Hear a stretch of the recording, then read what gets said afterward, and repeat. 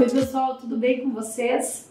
Sabe, outro dia eu tive o infortúnio aí de vivenciar uma situação com uma, com uma conhecida, uma amiga, que teve um, um gatinho com morte súbita. E sempre conversando, eu me dei conta que a gente não conversou ainda sobre isso aqui no, no programa.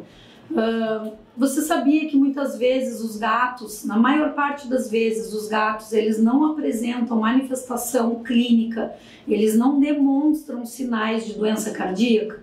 No cão é comum eles terem tosse, eles se apresentarem cansados, né? O, o dono percebe essas alterações no cão cardiopata, né? Na maior parte das vezes. No gato não é assim que acontece. O gato ele pode ser ter uma doença cardíaca congênita desde muito novo ou até quando mais idoso começar a apresentar os sintomas e o sintoma pode ser muitas vezes a morte súbita.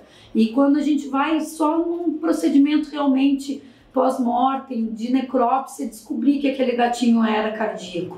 Então, minha dica hoje aqui para vocês é: você já fez um check-up de avaliação cardíaca no seu bichinho em casa? Já, já se preocupou em fazer essa avaliação? Já conversou com seu veterinário sobre isso? Vale a pena, independente da idade do gato, principalmente aí passou de dois, três aninhos, procurar fazer, incluir nesse check-up a avaliação cardiológica porque nem sempre, na maioria das vezes, o gato não dá sintomas de que ele é um, um paciente cardiopata. Recorra à bichomania, liga para cá, marca um horário, vamos fazer essa avaliação para a gente correr na frente aí e não ter essa, essa, esse dissabor de passar por um momento desse, onde a gente daqui a pouco vai acabar perdendo o bichinho sem ter a possibilidade de fazer esse diagnóstico, esse tratamento. Tá certo? A gente espera vocês. Um abraço.